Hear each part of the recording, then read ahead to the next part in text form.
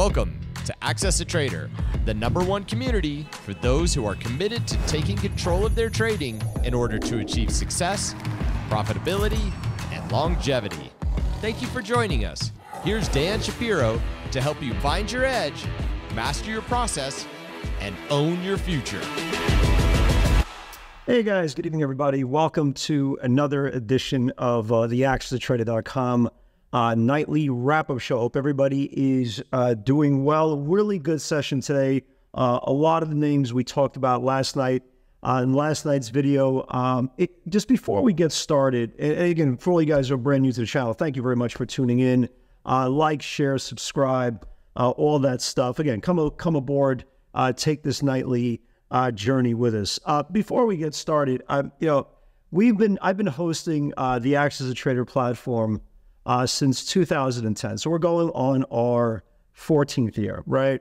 And we've been trading pivots uh, for the last since 2011.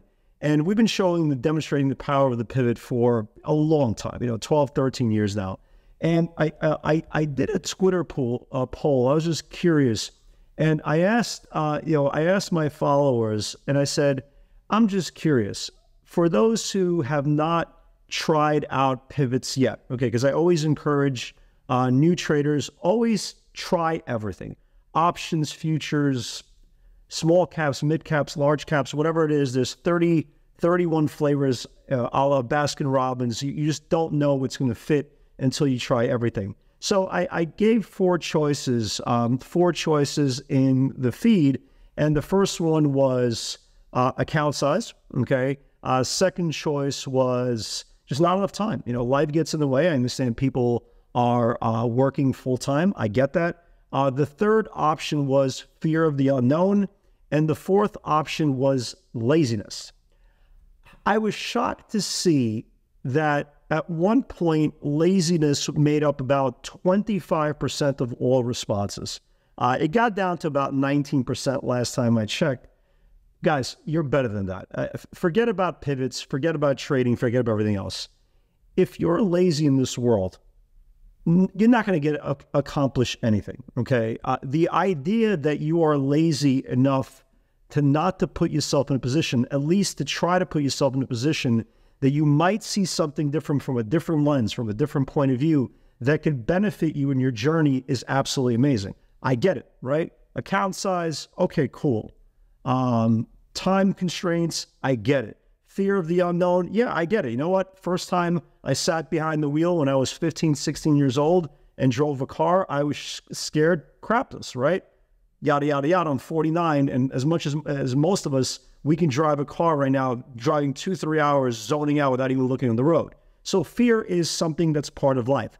But laziness, come on, guys, you're better than that. You can't live life with the notion that if it's not easy, if it's something that doesn't fall into your lap, if it's not something convenient for you, you just don't want to put enough effort. And with this business, with everything else in life, with being a good parent, being a good spouse, being a good entrepreneur, being a good everything, you got to put the work. So the idea that anybody can say on any subject that what's holding them back is laziness has to be a self-reflection moment, guys. There's nothing to even do about pivots. Has nothing to do about you know our platform. It's just self-reflection time. If you can't honestly sit there and you get and you say to yourself after everything is said and done that you gave it all, right? You gave it all, left it all on the field, and you still can't figure out a solution. That's at least you can live with. Laziness, not so much. So let's talk about the market, right? Today we had uh, the CPI. CPI came today kind of a non-event, okay, uh, which is a good thing. Non-event is a good thing. Uh, you know, market didn't, you know, pretty much react to it. Went down a little bit, went up a little bit. Nothing really crazy. Uh, all in all, the Qs kind of maintained uh, the 50-day moving average, held 72, the uh, the area we talked about last night in the video. Continue to hold 72 and continue to build above the 50-day moving average. The problem is it's still putting in three days worth of lower highs and lower lows. But again, from glass half full, you're still putting in all these highs and all these lower highs and lower lows above the 50 day moving average. Obviously, 72 uh, continues to be the very, very important area uh, on the Qs. Any close below 372, again, will start getting prices lower. Uh, any uh, and any close on the Qs from the macro side above 377.63 will start the next move up. So that that's our levels, right? 377.63 to the upside, uh, 372 to the downside. Everything else is uh, process dependent, uh, individual approach dependent, and it's obviously something uh, that uh, every trader uh, needs to uh, address. So tomorrow we have the PPI, right? CPI followed by the PPI. all these data points, right? All this data that is telling us absolutely nothing. Uh, yet inflation's still here, right? I could be the first one to tell you, if, in case you haven't figured out yet, uh, inflation is still here. So again, we're kind of in the same scenario for tomorrow. Let's see which way we break, right? Like I said, going into uh, today on last night's video, it's not that I was sell bias going into last into today's session from last night's videos. I just couldn't find any setups to the upside. And the one stock I kept on talking about in case the market does rally was da da da da Amazon. Again, if you've been watching this broadcast uh, just in the last couple of days, you know this is the cleanest setup in the whole technology space. It finally broke out today, and it is up uh, four dollars and change uh, on the day. It's up another about 75, 80 cents after the close. Um, I got about 25% left from today's breakout. If I can, if we could get a push today over 146 after hours, I'll be more than happy to sell it. Uh, again, just one of those scenarios ahead of the PPI bird in the hand. But if not, I have no problem taking the last 25% uh, overnight. Uh, but we talked about a lot of really good setups uh, to the downside yesterday. Uh, we saw them, right? We saw them play out. And one of the things we keep on reiterating the point earnings lows, earnings lows, earnings lows, earnings low plays. Uh, for years and years and years, I've been doing them. And that is the highest probability of success on multi day uh, swing trades to the downside that you're going to find. Uh, most of them are very slow. Most of them are very methodic. They're not boring, but hell, they work really, really well. So, for example, uh, I came in short Nike, like we talked about in last night's video. Um, I came in short Nike. Uh, it went down about about 70 cents at the open, and it just Nike for some reason trades very, very sporadic. So I covered some, and I just didn't didn't like the way it was trading. The future started uh, going lower and, the, and Nike started rallying. I was like, you know what? Let me take the stock off. So I took that off. But again, whatever it is, let your worst trade be a good one. You know, and then we started talking about stocks like HLIT. Again, here's another perfect example. We talked about it last night's video, right? This is the lowest close in this whole formation. Took out the earnings lows. The stock went down pretty decent amount, right? Went down to the 950s area. Um, I still have two thirds of my position here. I think it goes lower. I think there's a shot of this thing uh, test nine dollars. A trade that we started today, IPG. Again, right? What's the theme? Da da da da. It took out earnings lows. Beautiful move. Absolutely beautiful move on IPG. We talked about HTZ last night, right? HTZ uh, on the video. Uh, again, this is the lowest close in this whole formation. Um, I started shorting it basically where the where the where the where the closing price was, somewhere around 1564, close at 1562. But watch this thing for tomorrow, right? If if HTZ starts building below today's channel here, this thing could really get get low. I mean, these trades are controllable. They're slow, and whether you're a really aggressive trader or whether you're a new trader just starting to figure out price action, it'll give you all the time in the world to kind of manifest the price action and organically let your brain uh, sink into the price action, so it's not scary. It's it, there is no fear. Your heart's not palpitating. That's what the whole mega cap place is for. I'm just joking around. Mega caps, uh, or the beta names as I call them, uh, they're very, very orderly. They're just not for everybody, but they're very, very orderly. So these are the moves that are really, you know, really uh, organic. I mean, look at another one, PDCO, right? PDCO. Again, look at it broke broke down today, right? 28.60. Stock went down to 28 bucks. Again, they're not sexy. They're not, you know, they're not, you know, social media worthy, but they're very, very effective and they're organically selling. Because keep this in mind, guys. Once a stock loses its earnings low, there is no catalyst, right? Think about it. They already blew up on earnings. They attempted a dead cat bounce. That dead cat bounce failed. They closed below uh, their earnings lows. There's nothing. There's nothing for the stock to weigh itself on short term, and this is why you're getting the two, three, four uh, day continue moves. Um, one stock that continues to, to get hit was Apple. Uh, yesterday's event uh, on the iPhone event, the iCharger event, blah, blah, blah, blah, blah. Stock continues to get sold here, and now it's getting very, very close to the bottom of the range. Netflix, right? Netflix CEO, uh, CFO today uh, came out with comments. Um, you know, let me read the comments to you. I'm not, you know, I, I don't pretend to know everything. So the CFO is talking about the spinoff from accounts from revised sharing policy are being skewed. They talked about potentially, uh, you know, trying to extend their hand in the online video game space, which so far is not playing out.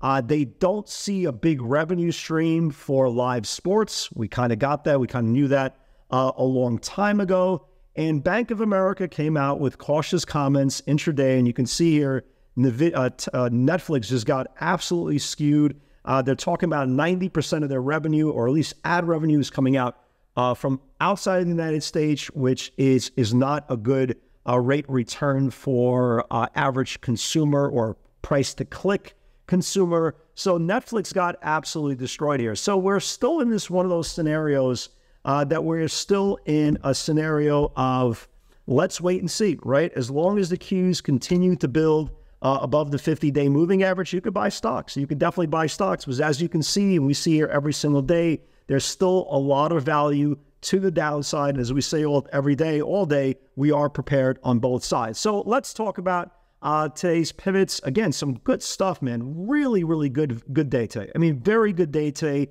We had Tesla, we had Amazon, we had the slower mover names. Some names didn't confirm, but all in all, very effective day. So yesterday, you know, yesterday was the pivot HLIT 984. If it builds below, it can flush multi-day move. It closed yesterday in 992. Uh, today, you know, it needs to confirm that below 977. Uh, HLIT going, you know, is, is closed at the lows of the day. Again, not sexy, right?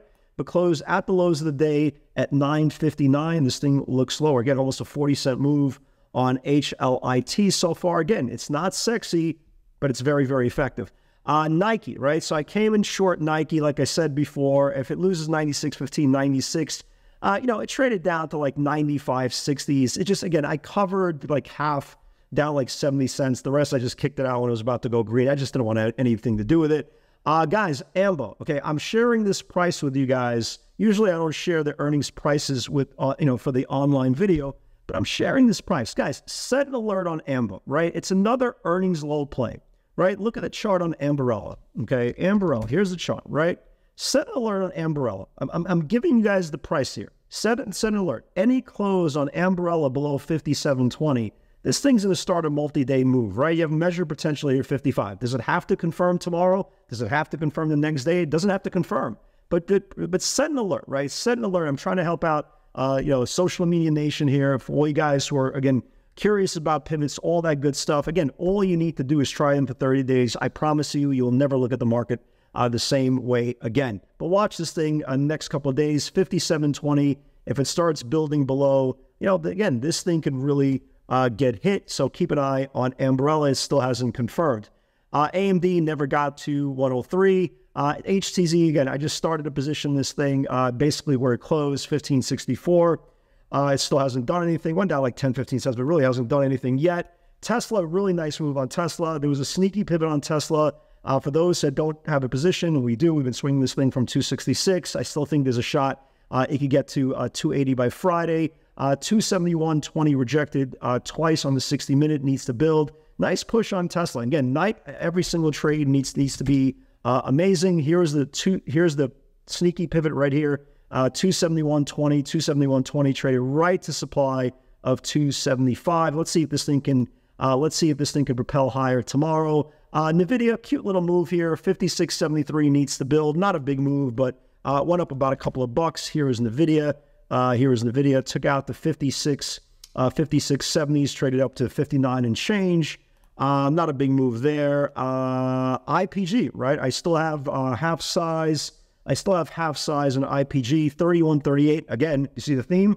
Earnings low. Any close below because starts the next leg down. Here's IPG, right? Here's IPG. Traded all the way down to 3040s. I'm still sitting in half. I want to see this thing get lower. Again, another, right? See the theme? earnings lows, guys. You could you could have a really good, strong career trading just earnings low. I'm telling you, once once it blows up on earnings and confirms the earnings low, there's no reason to buy stock.